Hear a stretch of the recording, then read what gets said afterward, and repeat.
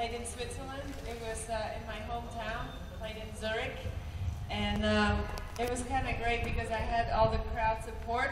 It's almost like here when I play here for Hyderabad Live Night. So thanks for coming out.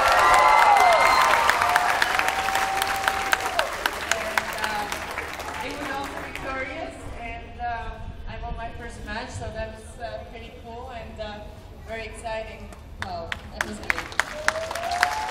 Thank you so much.